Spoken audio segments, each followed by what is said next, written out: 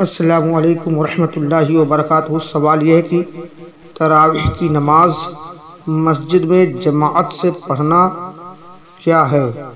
इसका जवाब भी समाप्त फरमाएँ बिस्मिल्लाहिर्रहमानिर्रहीम तरावीह मस्जिद में जमात से पढ़ना अफजल है।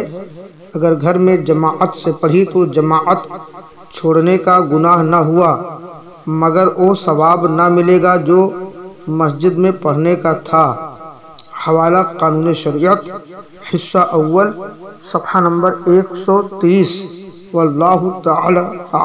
सौ अस्सलामु अलैकुम।